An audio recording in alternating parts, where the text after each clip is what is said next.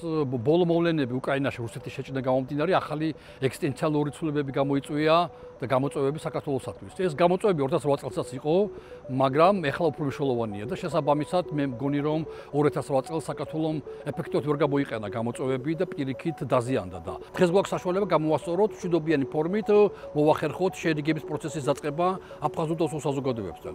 ამ საჭირო არის გავაგრძელოთ ის პოლიტიკა, რაც დაიწყო კოალიცია ქართულ მოძნება 2012 წელს და სამწუხარო დასულდა 2016 წელს დასულდა დაიშალა კოალიცია. ანუ ჩვენ ქონდა მაშინ პირდაპირ კონტაქტები სოხუმთან და ცხინვალთან და ვახერხებდით ქართულ აფხაზურ და ქართულ ოსური კონფლიქტების მოგვარებას აფხაზურ და ოსურ საზოგადოებებთან. 4 წლის განმავლობაში ამან მნიშვნელოვანი შედეგები გამოიწვია ჰუმანიტარულ საკითხებიდან გამომდინარე, მოვახერხეთ პატიმრების განთავისუფლება, უამრავი სხვა საკითხები, მედიცინა და ასე შემდეგ. სამწუხაროდ ქართულ ოსნების დღევანდელი პოლიტიკა 16 წელი მოყოლებული გადავიდა ესე ნაციონალური მოძრაობის ნარატივში, ანუ პირდაპირ ანუ უარის თქმა აფხაზურ და ოსურ საზოგადოებებთან. ჩვენ აღარ ველაპარაკებით პოლიტიკურ დონეზე, პოლიტიკურ საკითხებზე, სოხუმს და ცხინვალს. ესე რა თქმა უნდა, ამ ეს უნდა აღდგეს, მით უმეტეს რომ დღეს შეგვიძლია სოხუმს და ცხინვალს დავაჯეროთ, რომ რუსეთის სუსტება, მართლა სუსტება და რუსეთისთან ასეთ აგრესიულ რუსეთთან ყოფნა სულაც არ უნდა იყოს სასარგებლო მათთვის, ჯობია რომ საქართველოსკენ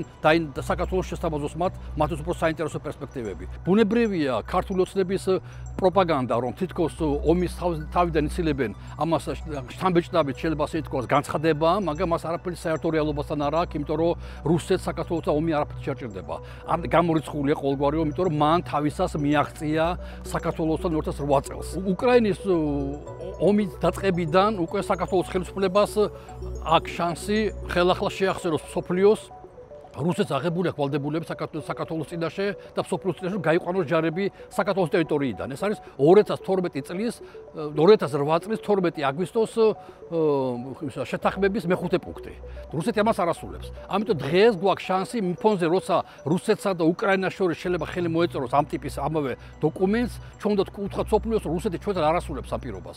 ამიტომ კარგი იქნება თუ შეახსენებთ რუსეთს, რომ საქართველოს შესაძლებელი აქვს გარდა იმისა, რომ შეასრულოს ასეთი პირობა უკრაინასთან. მესამე მნიშვნელოვანი იქნება თუ ევროკავშირის სადამრიგო მისიას, რომელიც არსებობს დღეს საქართველოს ტერიტორიაზე, რომ მოეთხოვოს, რომ გაძლიერდეს და რუსეთის ჯარების გაყვანის კონტექსში მოხდეს ევროკავშირის მეტი ჩართულობა, რათა აფხაზებს და ოსებს კონდეთ განცდა, რომ ქართველებთან, საქართველოს მხარესთან ისინი არჩებიან მარტო და შუამავალი იქნება ევროკავშირი. მე მგონი ეს სამი მიმართულება ეფექტურად შეიძლება იყოს გამოყენებული ახალი კონტექსტიდან გამომდინარე. მე ვთვლი რომ კარგი იქნება თუ საქართველოს ხელისუფლება იქნება პროაქტიული, არა პასიური და მოლოდინის რეჟიმში. დღეს ისეთი განსხვავება თითქოს უკრაინაში რომ ომი დასრულდება, მე მთელი სოფლიო იზრუნებს საქართველოსზე. ჩემი აზრით ყველაფერი ასე იოლად და მარტივად არ იქნება, საქართველოს მოუწევს შრომა, რათა დაუმტკიცოს სოფლიოს რომ საქართველოს დღის საქართველოს საკითხი უნდა იყოს დღის წესრიგში.